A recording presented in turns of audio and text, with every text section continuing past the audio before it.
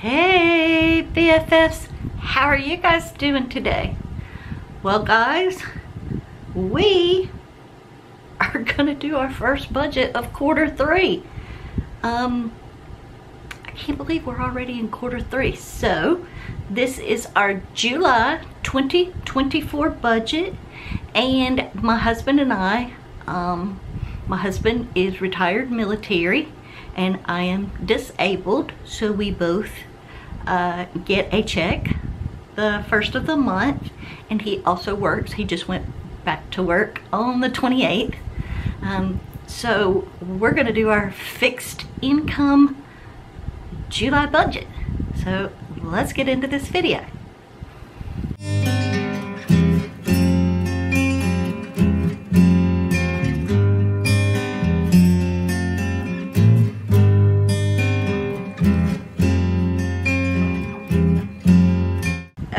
guys, like I said, July, July. And of course, you know we had to do July in the red, white, and blue, of course. So this is my monthly spread. I have all of our bills laid down. As y'all can see, we're really heavy the first week of the month. Look, one, two, three, four, five, six, seven, eight bills during the from the first through the seventh. So we are really heavy the first week of the month and then we just kind of scatter out. But the majority of our bills do fall the very first week of the month. So that is our layout for July. I think it's pretty. These these stickers come from um, Jennifer Bleacher Life in Envelopes. She has a shop on Etsy. She also has a YouTube channel. And if you use the code YouTube15 at checkout, you will get 15% off your order. No, I'm not sponsored, but I pretty much order all my stickers through her. Cause I like, I like her stickers. All right. Now, I'm gonna zoom you guys in some so y'all can see what's up. So this is our July 2024 budget. We have hubby and Gigi. And we are working with 5238. And y'all, I do right on the slant. I will turn it around and let you guys see what all's going on. But we have our mortgage. Like I said, the first of the month, we are, we are, that's when most of our bills are due. And that is 384 76 our power now hubby was home and he does not um, know how to use natural light. uh, he turns every light in the house on all day long. And see, when I'm here while he's at work, I don't turn the lights on at all because I got natural light. My Our house is not dark. But, hey, we've discussed it. He will try to get better. but our power bill is almost as much as our mortgage. So, um, our water bill. And that was a 43.63. I got my little cheat sheet here over here to the side with all my bills on it. Our internet, which is Spectrum. I'm putting $90, but I have not received the bill yet. Um, but they were supposed to give me a credit, so I'm not I'm not sure how that's gonna go, and I would rather be safer than sorry. So if this is less than $90, I will just uh, put that in the in the buffer in in the bank. All right, we got Hubby Hobby.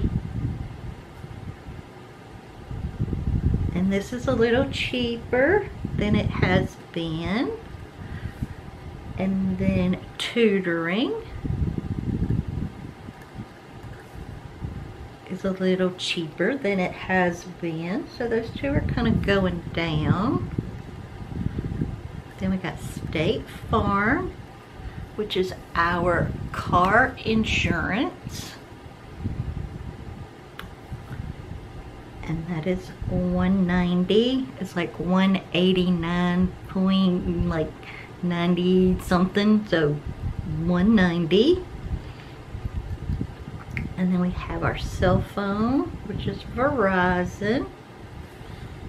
And it is also 189.90 something. So any of those, any of that change left over, all will just automatically stay in the buffer. And by leaving the money in the bank, we built up a thousand dollar buffer um, just by just by averaging out, you know, rounding up, I guess you'd say. So um, Netflix, whenever it decides it wants to come out, like I actually had to call them because they kept saying that I was sharing my account.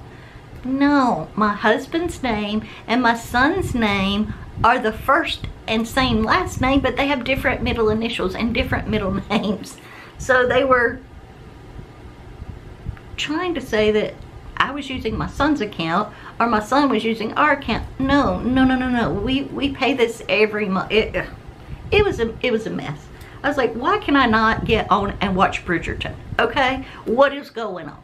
Something is going on. Let let's fix this. So I had to call them, and they can use your um, bank information to tell what the password and all that was because I had no clue. That's it, my husband. And, you know, like, anyway, our life insurance. Won't forget that after forgetting about it. And then we have our Founders MasterCard and we are going to be paying 55 on that and we have our care credit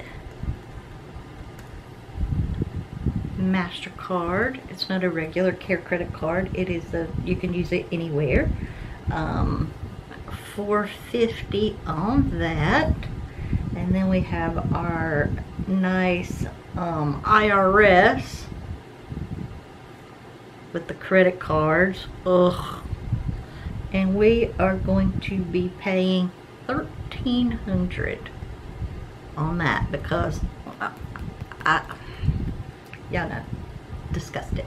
And then my gift for our anniversary has to go back to the buffer and that was 150 so we're just replacing the buffer with this one because we pulled it out of the buffer because I ordered it online. So, and I will show you that probably next next week when I do a Happy Mail video. 384.76, 202, 54,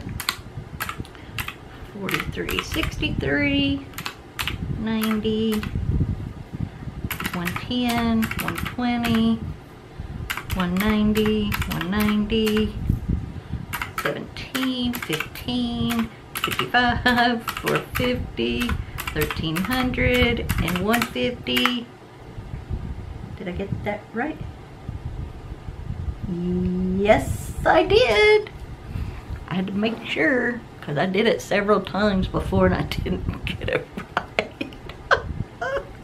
oh, I think my brain is still like, you know, because I got put to sleep, then I got all the loopy drugs, and then, you know, put to sleep, and then more procedures and pokes and cuts and scars and sticks, and it's just like, I think I'm still trying to recover.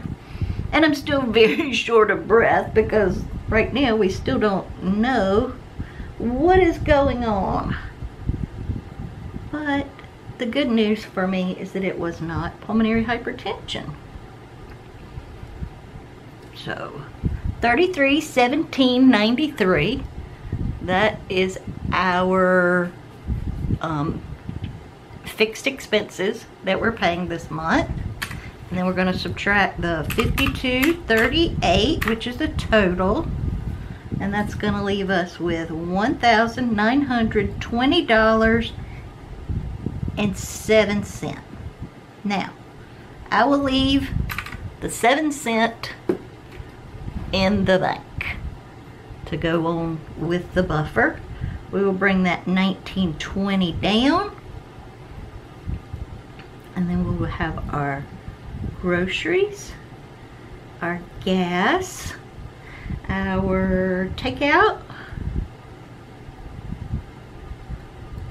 Now, household, I don't have to fund because it is to go.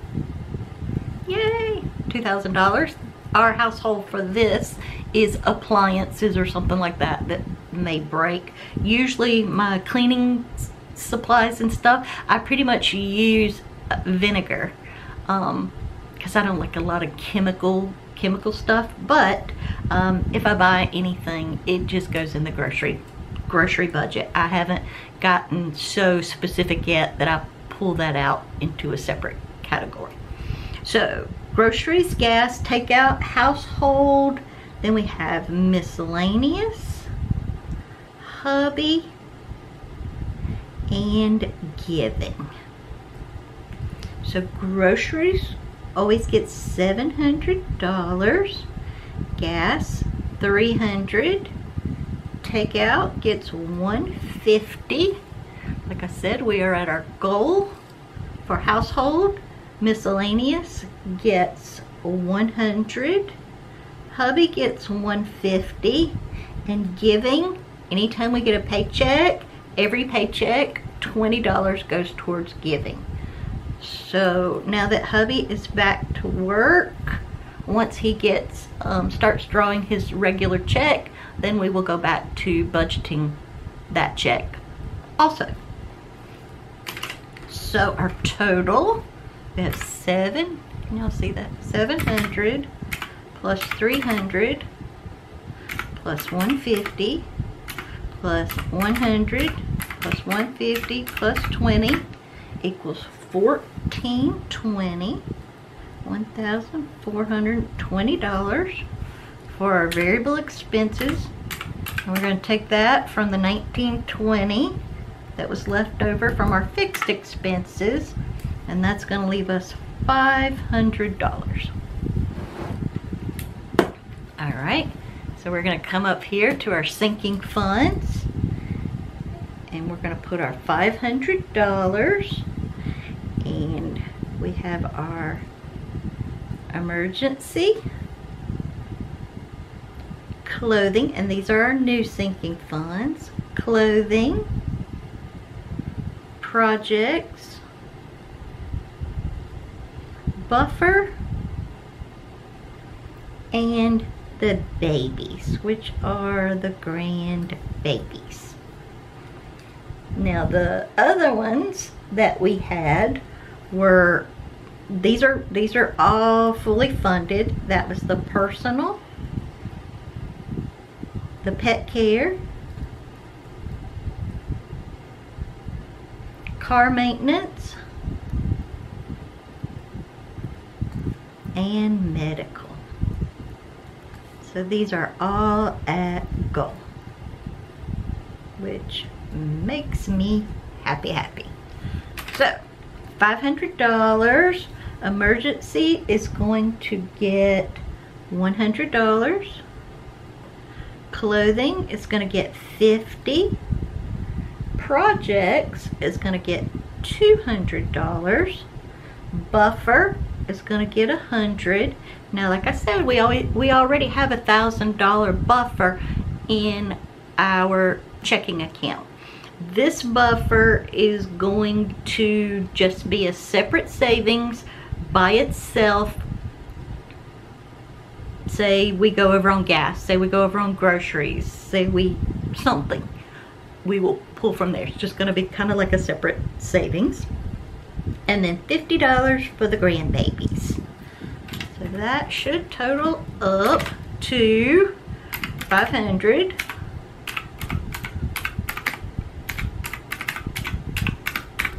and it does. So 500 minus 500 leaves us zero and that's how you get a zero-based budget. You tell every job where uh, every job every dollar you give it a job and you tell that money where to go. So fixed expenses these are our monthly bills.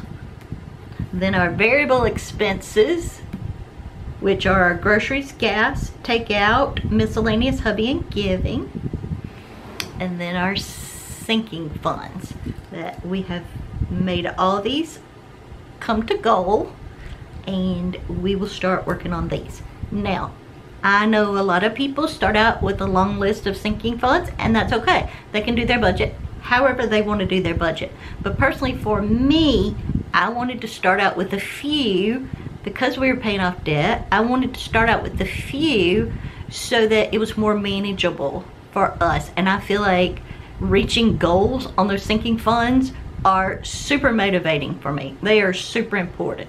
So we had, you know, five, one, two, three, four, in the household, five, and we've got those to goal.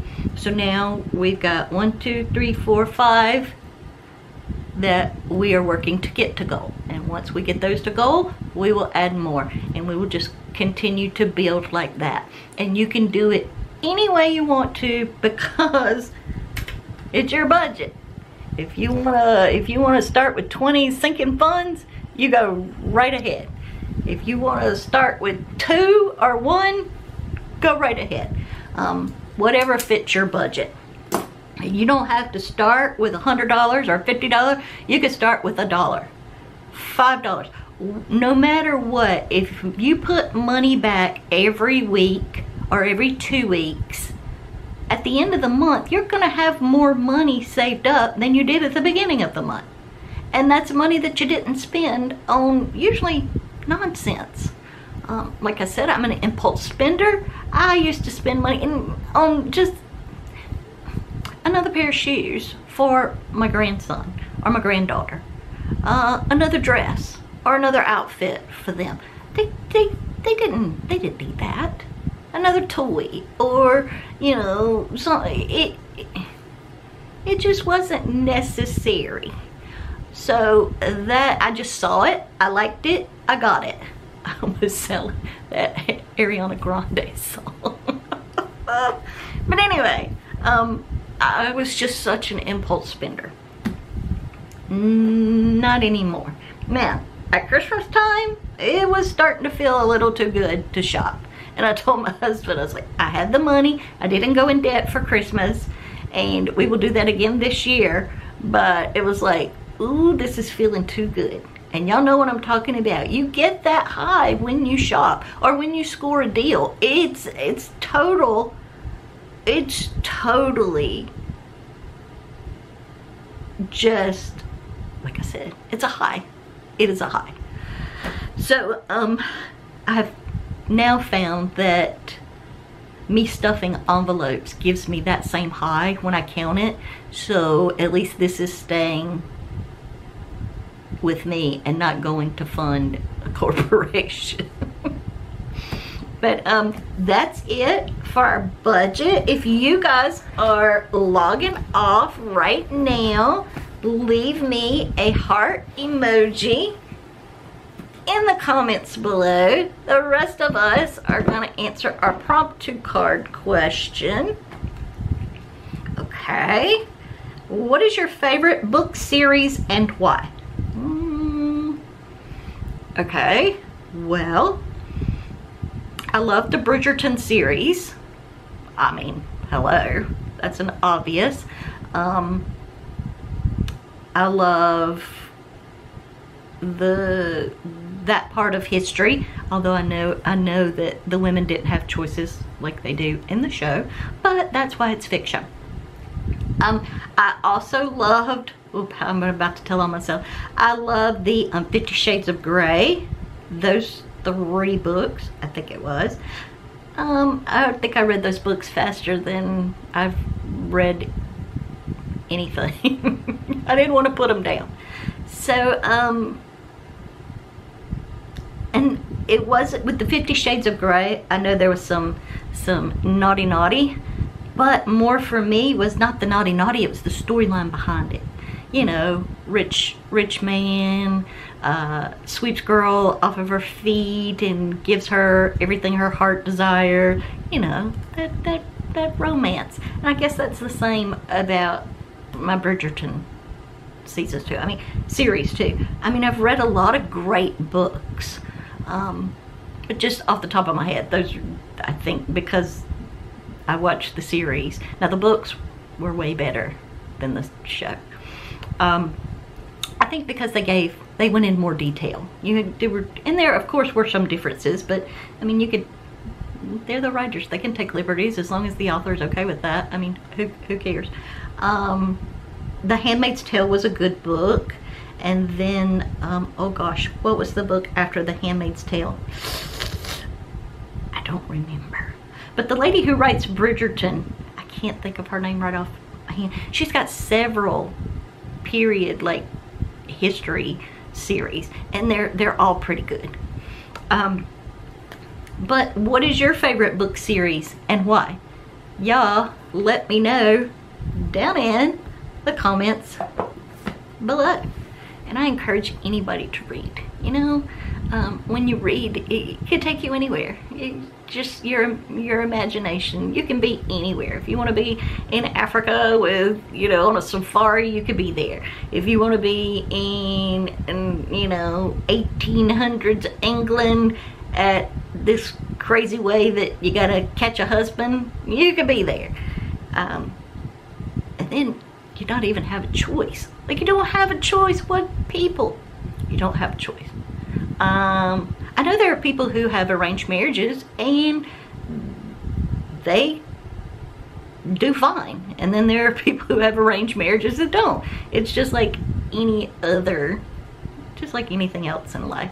Some works, some doesn't. But um, I thank y'all so much. If y'all will give me a thumbs up and like this video, um, share this video with someone that you think may enjoy it. Um, I thank you so much for being here. Oh, I'm out of breath, guys. So I am gonna go and put my oxygen on because my watch and my phone are like alert, alert, alert. So I love you guys. Until next time, friends.